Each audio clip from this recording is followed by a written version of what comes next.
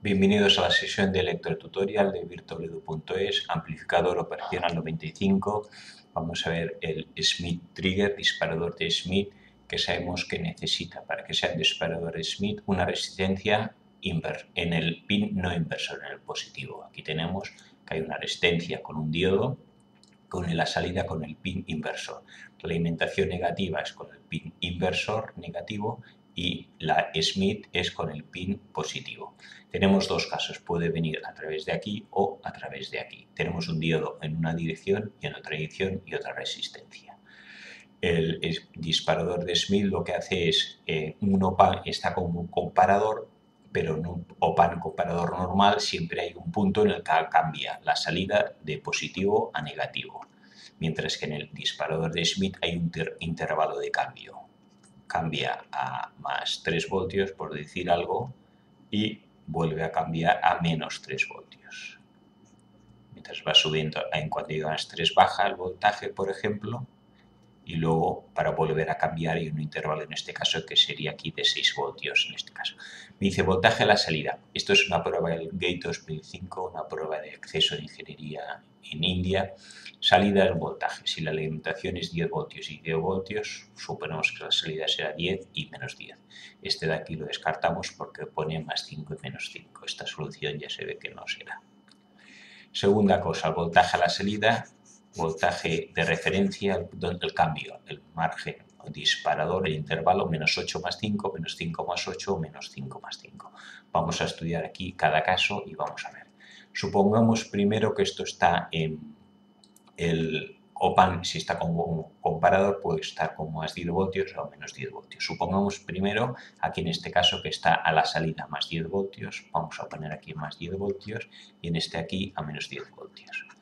Si aquí hay más 10 voltios positivos, esto es tierra, la corriente irá de positivo a negativo. Aquí se encuentra un diodo de no oposición, pero aquí no puede pasar, por aquí sí. Ponía arriba que los diodos son ideales, el voltaje caída de voltaje en el diodo es cero. O sea que tenemos aquí, la caída aquí, voltaje es cero y la corriente viene por aquí, por aquí no puede pasar. ¿Cuál será el voltaje en este punto? Voltaje en este punto, voltaje positivo en el pin no inversor será voltaje P, será voltaje total que es de voltios por resistencia de abajo, aquí no hay que de voltaje, que es 2K, partido por la suma de las dos, 2,5. 10 entre 2,5 es 4, 4 por 2, 8 voltios. Cuando aquí tengo 10 voltios, por voltaje P, aquí tengo más 8 voltios. Pues ya tengo un intervalo de referencia. Este voltaje ¿Qué le pasa? Vamos a calcular dos voltajes, uno por encima y otro por debajo de 8 voltios, menos 7, 7 mm, voltios y 9 voltios.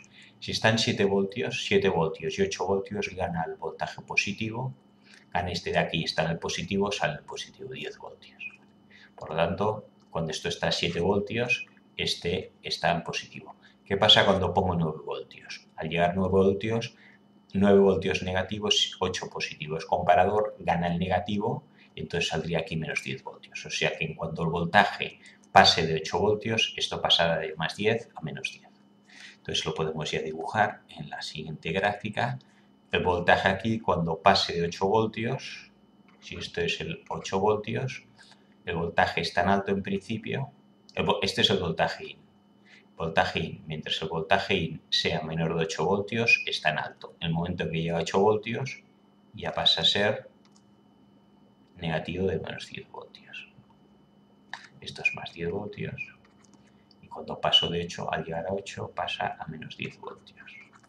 Y aquí entonces será, como hemos visto cuando tenía 9 voltios, que está en menos 10. Cuando era 7 voltios más 10. Y con cualquier voltaje, pues como es comparador, el voltaje aquí menor de 8 voltios está en positivo.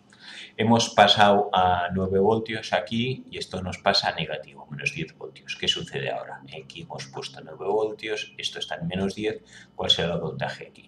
Ahora la corriente va de más a menos, en el sentido tradicional. Entonces, como esto es negativo, menos 10, este es 0, 0 es mayor que menos 10, la corriente viene por aquí. Aquí nos encontramos un diodo en oposición, pero aquí no puede pasar.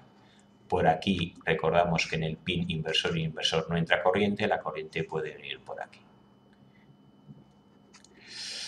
Entonces, si aquí tengo 10 voltios y aquí tengo 0 voltios, ¿cuál será el voltaje intermedio? Voltaje aquí. Vamos a hacerlo se puede hacer con positivo, luego cambiar los signos o con negativo. Si el voltaje es menos 10, eh, voltaje aquí intermedio, que es voltaje P, sigue siendo el voltaje en el pin no inversor, el positivo, será el voltaje total. Esto va de 0 a menos 10, menos 10 voltios. Por resistencia de abajo, ahora la resistencia de abajo es esta de aquí, es 2K partido por la suma de las dos, que estamos en este circuito 2 y 2, 4K. Lo estoy haciendo como este fuera el positivo, aquí pongo el positivo y este aquí. Voltaje que hay aquí, bueno, tenemos que huir el voltaje aquí, pero bueno, da igual. Como las dos resistencias son iguales, 2K y 2K, el voltaje que hay aquí es el mismo que hay aquí. Y de voltaje aquí igual a hay de voltaje aquí. Eh, menos 10 entre 2 da la mitad menos 5 voltios. Ahora tengo voltaje aquí, antes era más 8 y ahora tengo menos 5 voltios. Ahora aquí el voltaje será menos 5 voltios. ¿Qué sucede con el voltaje I? Pues una vez, vamos a suponer que tengo ya esto en menos 5 voltios y ahora voy bajando el voltaje. Estaba en 9 voltios.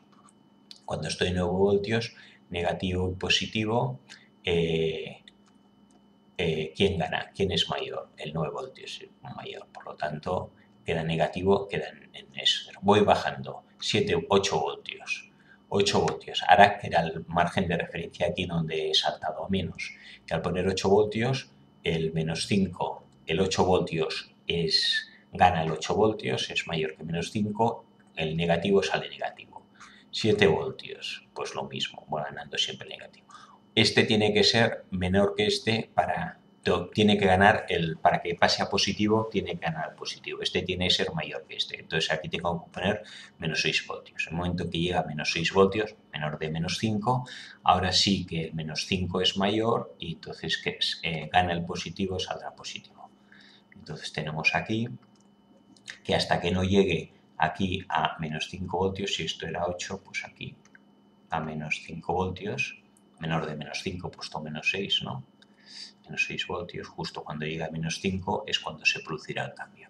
Al llegar a menos 5 voltios, esto es cuando iba a la ida y he subido el voltaje y cuando he llegado a 8 voltios ha bajado a 0 y luego aunque suba sigo a negativo.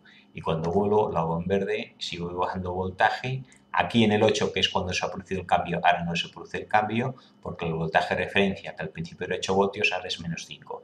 Tengo que bajar a menos 5 para que el voltaje sea entonces, cuando pongo menos 4 voltios, ya sí que me saldrá 10 voltios positivos.